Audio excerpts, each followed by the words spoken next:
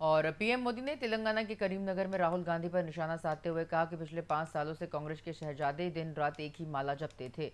पाँच उद्योगपति, अंबानी, अडानी, लेकिन जब से चुनाव घोषित हुआ है, इन्होंने अंबानी, अडानी को गाली देना बंद कर दिया है। क्यों?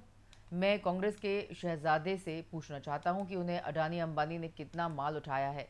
वहीं वारंगल में जनसभा को संबोधित करते हुए प्रधानमंत्री मोदी ने कहा कि कांग्रेस झूठ की कितनी बड़ी मास्टर है, तेलंगाना में से बेहतर कौन जानेगा? वहीं उन्होंने आंध्र प्रदेश में वाईएसआर कांग्रेस पर भी निशाना साधा। ये कांग्रेस के शाहजादे पिछले पाँच साल से सुबह उठते ही माला जपना शुरू करते थे। जब से उनका राफेल वाला मामला ग्राउंडेड हो गया, तब से उन्होंने एक नई माला जपना शुरू किया। पाँच साल से एक ही माला जपते थे। पाँच उद्योगपति पाँच उद्योगपति पाँच उद्योगपति।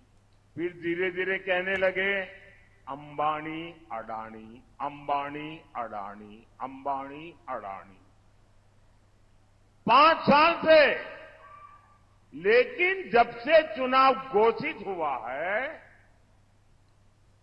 इन्होंने अंबानी, अडानी को गाली देना बंद कर दिया। मैं आज तेलंगाना की धरती से पूछना चाहता हूँ जरा ये साझादे घोषित करें कि चुनाव में ये अंबानी अडानी से कितना माल उठाया है। काले धन के कितने बोरे भर करके रुपये मारे हैं। क्या टेंपो भर करके नोटे कांग्रेस के लिए पहुँची है क्या? क्या सौदा हुआ है?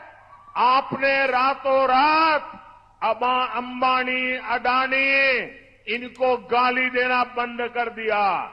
ज़रूर, दाल में कुछ काला है। पाँच साल तक अंबानी, अडानी को गाली दी और रातों रात गालियाँ बंद हो गई।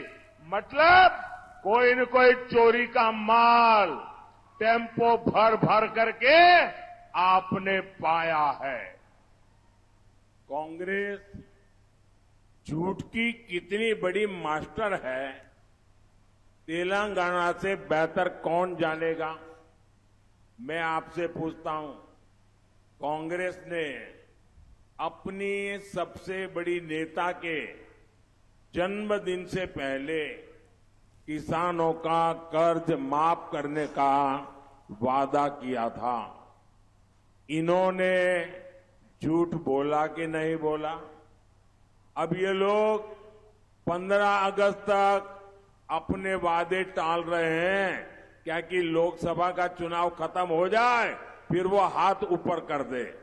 क्या? ये आपसे धोखा नहीं है। आपकी भावनाओं का अपमान नहीं है। ये लोग वेमुलावाड़ा के भगवान राजन्ना की सौगंध खा रहे थे।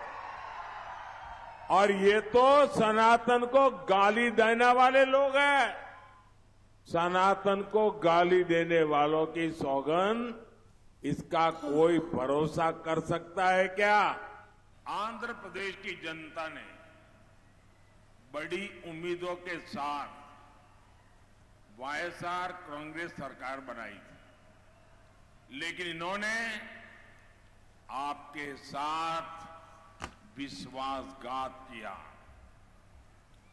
वाईएसआर कांग्रेस ने यहाँ गरीबों का नहीं, माफिया का विकास किया। वाईएसआर कांग्रेस के मंत्री कैसे यहाँ गुंडागर्दी करते हैं, यहाँ रावड़ी राज चलाते हैं, वो सबके सामने है मैं तो हैरान हूँ जिस सैन माफिया के कारण अन्ना मैया डैम टूट गया। 25-30 गाँवों को नुकसान हुआ। दर्जनों लोगों की जान गई। ये से माफिया को यहाँ की सरकार बढ़ावा देती है। मैं ऐसे हर माफिया को कहूँगा वाईएसआर कांग्रेस गवर्नमेंट जाने का काउंटडाउन शुरू हो चुका है। एनडीए सरकार यहाँ के हर माफिया का इलाज करेगी, पक्का ट्रीटमेंट करेगी।